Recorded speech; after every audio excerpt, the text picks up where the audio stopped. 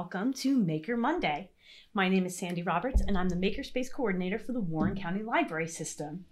Every Monday at 2 p.m., I'll be coming to you with a new Maker project. Um, unfortunately, our live stream earlier today had a bunch of technical problems. I'm not really sure what happened to our sound. It cut out for a big chunk of the video. So I'm reshooting the project with hopes that you will still be able to participate. Um, so Today, we will be making marble runs. This is a great engineering activity that you can get really creative with. Um, it's a wonderful way to play with forces and motion and experiment with the use of gravity. And um, at the end of the day, it's just a ton of fun. You could do this with your family, with brothers and sisters, um, and you can make this as big or as little as you want. So there's a lot of room and flexibility to create pretty much anything that you can imagine. So let me show you what we're working on. All right, this is the marble run I put together. It's a pretty simple um, marble run.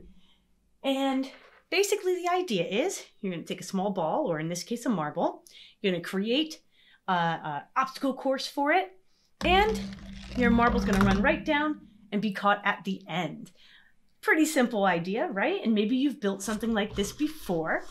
Um, but it's a really great opportunity to create. So I'm not going to tell you how to build this particular marble run because you want to create something that's yours and unique, just like you.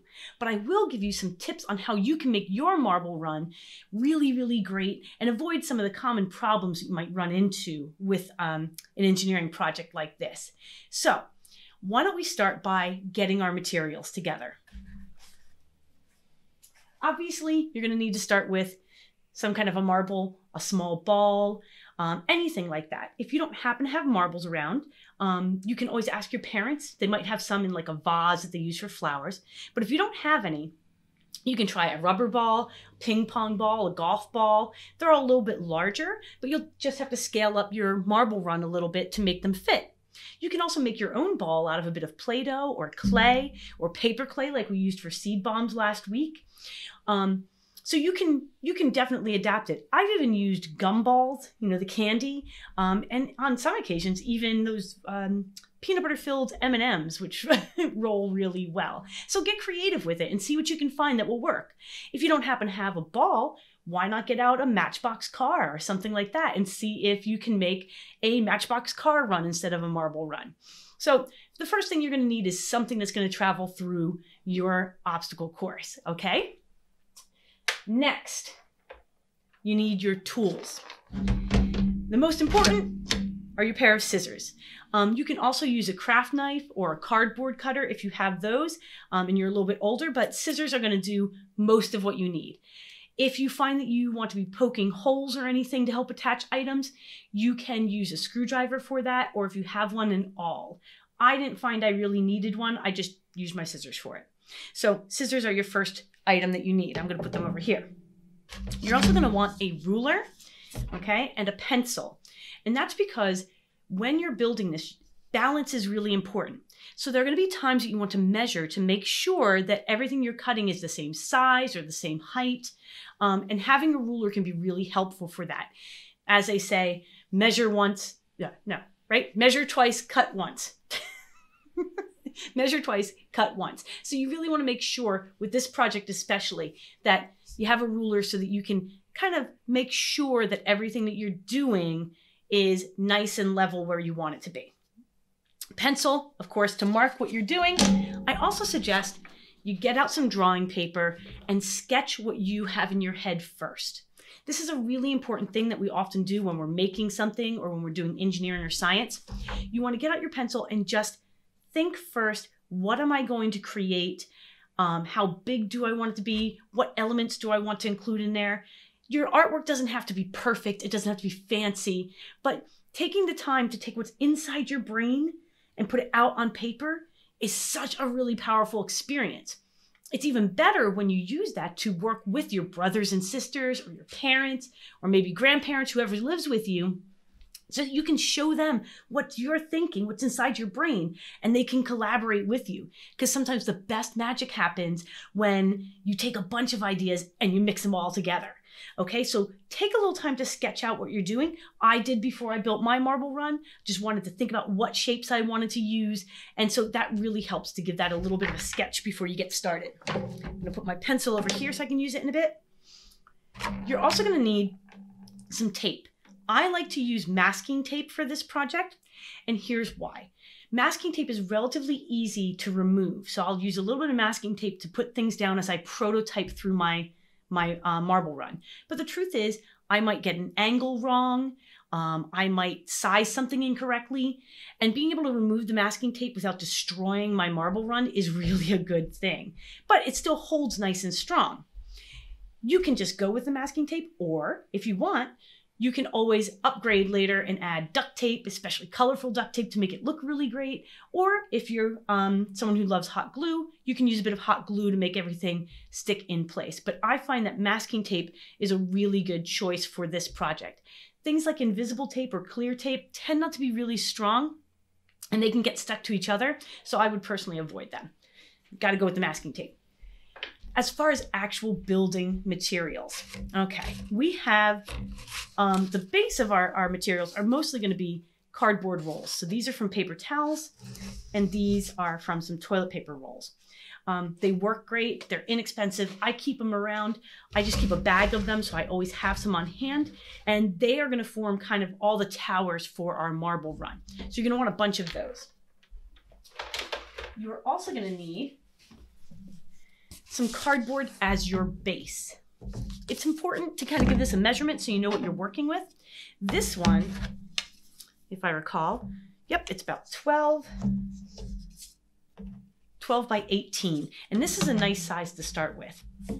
Um, so that's kind of about the size of like a half sheet cake. Um, you'll see this one has been used before. It's got some paint on it. This one's kind of ripped up. It doesn't have to be perfect. You can cover it with paper or paint first before you begin if you like. I like to kind of do all my decorating when I'm all finished. So this is a good size to start. Now, if you want to do bigger, you can do bigger. Go big. Also, you can consider building multiple pieces and adding them to one another and coming up with creative ways to connect your marble runs um, so you can expand what you're building. Or you can even do something fun like each member of your family can build one and then you can figure out how they connect. Um, if you do go bigger, you're going to need more supplies to build your actual marble run. If you go smaller, you may want to consider things like drinking straws and maybe a smaller bead as a ball because you're going to want to give yourself the space to make sure that you can have that marble move. So you're gonna need some scrap cardboard. Some other materials that you're going to need. Um, I like to use all kinds of paper plates. These little inexpensive ones like this are really great because you can make them into funnels like that. Okay, which are really great for directing your marble in different directions. You can also kind of make them into this taco shape like this. All right which um, gives you a lot of flexibility for directing your marble as well. So these are really versatile and really flexible, and you can use them in a lot of different ways. These kinds of paper plates, these larger ones, I really like so that I can cut the edge off of them. And that's what I actually used in my marble run to create that spiral shape, which is really fun. And you can wrap that around the paper towel tube. You can wrap that um, around a cup. So those are really versatile too. Bowls can be great, especially for like the place that you want to start your marble run. And in fact, let me show you here what I did. I just cut a little hole, um, a little tab actually in the bottom. And what you do is you um, just fold that so that it goes into your marble run. I don't like to cut just a straight hole because sometimes the marble can get stuck and it's hard to line up. So with this, you use the tab actually as the start of your marble run and attach it. And that way you have a nice, easy place to get your whole marble run started. So bowls can be really great. You can use them to create spirals too. And then we have all kinds of cups like this. These are great, especially for buckets at the end because as you can see, you want to make sure there's a place for your marble to go at the end of the, the uh, marble run. It needs to fall somewhere in the bucket. So otherwise it's going to shoot out and you're going to lose your marble. And that's a really big problem, um, especially if you don't have a lot of them. So cups are really good for that. All right.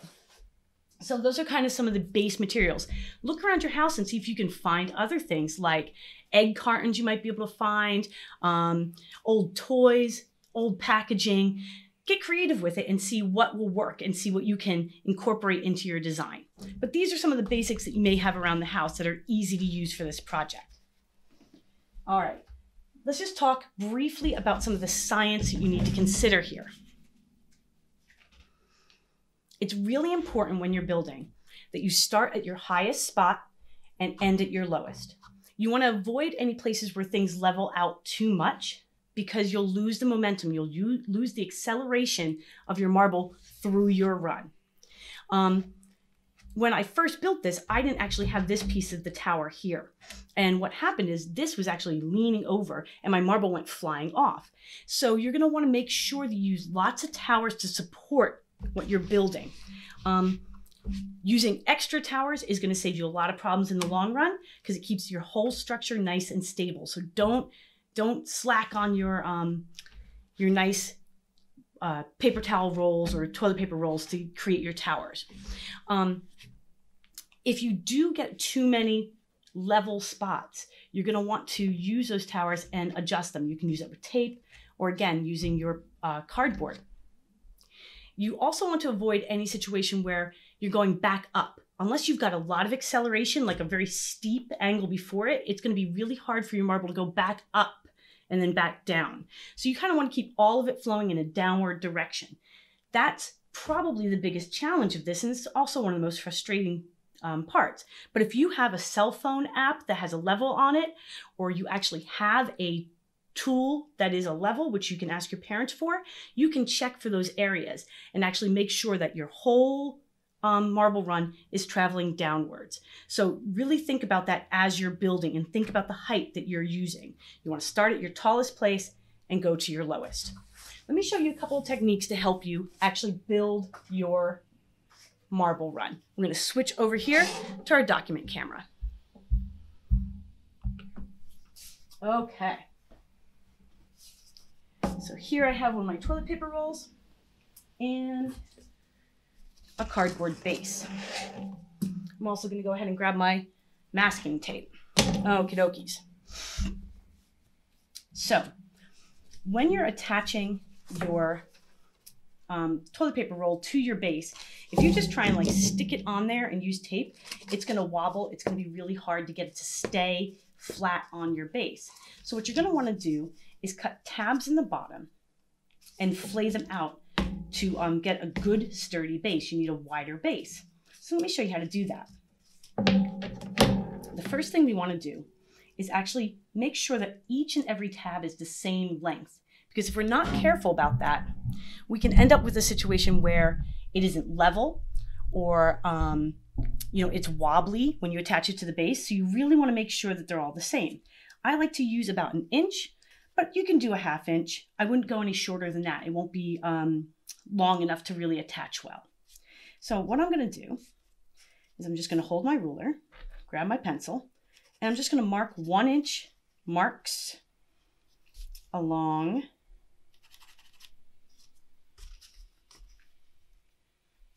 the base here.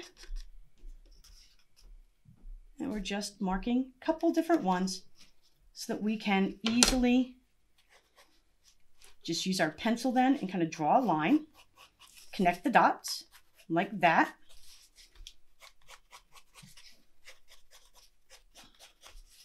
There we go.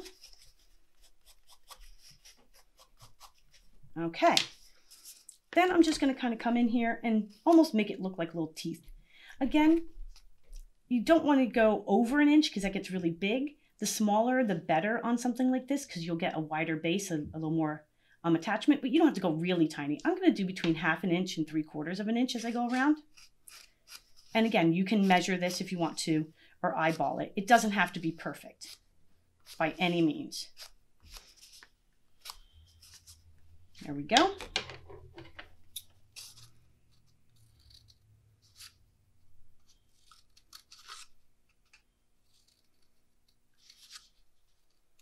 And we're just going to cut all those little tabs like that.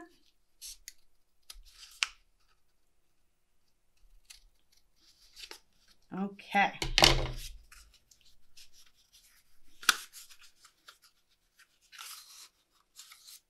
And now you're just going to fold them out. And again, you want to try and make sure that they're all just about the same.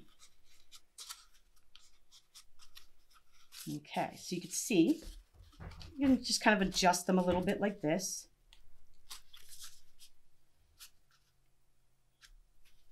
All right, two like that. You can see it kind of makes like a little flower almost. But what we're going to do today is you're going to put that against your cardboard. You're going to take your tape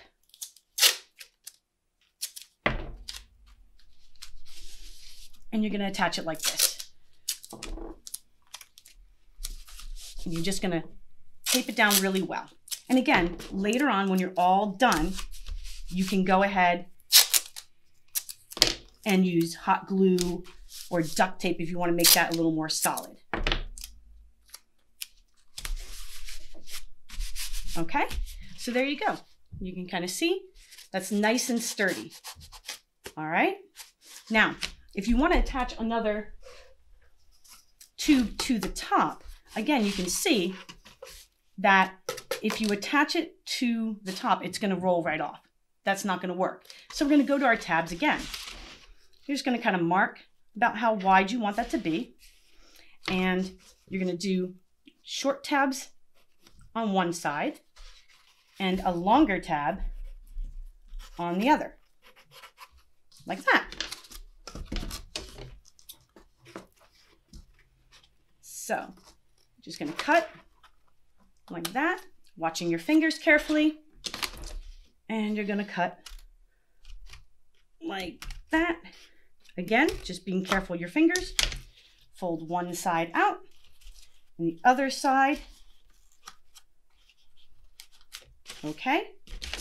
And then you're just gonna place that in like that you can kind of see, and use a bit of tape, nice long strip of tape.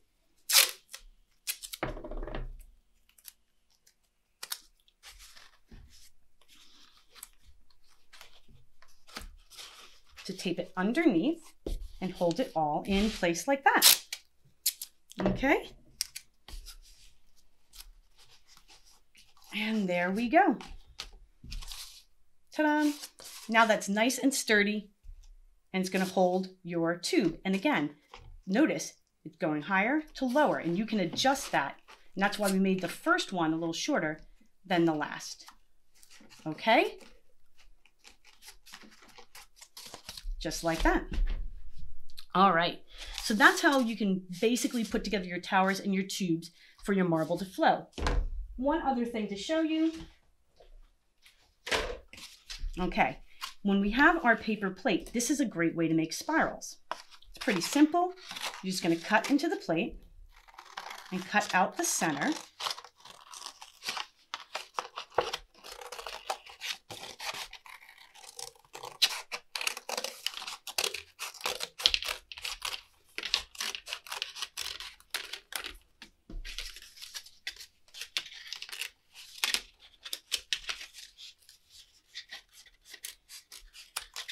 All right. And as you twist that, you can twist that around a paper towel tube. All right. And that will give you a spiral shape. Now, you can do it either way. I found sometimes that when I went at a really steep angle, though, I needed to put a second paper uh, plate here to kind of create a run. So I had walls on both sides. So you may want to experiment with that because you can just lay one paper um, plate on top of another and put walls on both sides and give you your spiral. If you want a tighter spiral, what you're going to do is you're going to cut lots of little tabs along the plate like this.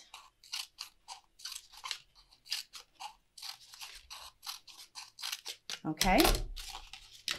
And then you can lay them over each other, kind of tuck them in together like this and tape them in place. And that's going to give you a much tighter spiral. And you can even cut pieces out if there are more than you need. You can just go ahead and take out some of those tabs. And that gives you a nice tight spiral that you can attach to your marble run. So that's a really fun thing to play with. And all you need are a couple paper plates for that. All right, here we go. So I hope that you have some fun playing with these marble runs.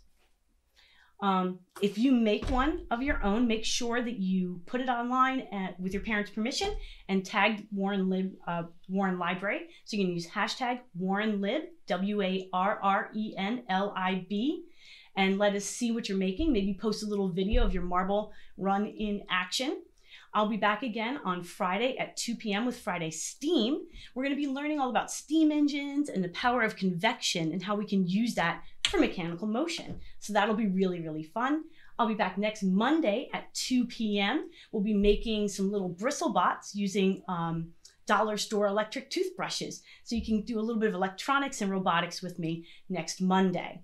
Um, in the meantime, make sure that you check the Warren County Library website at warrenlib.org. We've got all of our events on the calendar, um, including materials lists for each of our projects. Um, there's so much that we're offering. There are reading groups, there are Pokemon clubs, there are story times, and then special events on weekends. So definitely make sure you check that out and register for events and see what we have to offer. We can't be with you right now, but we're trying as much as we can to be with you online. Can't wait to be back at the Makerspace uh, at the Southwest branch. But for now, I'm Sandy Roberts. I'm the Makerspace Coordinator for the Warren County Library System, and I want you to stay safe and stay healthy and keep making. Thank you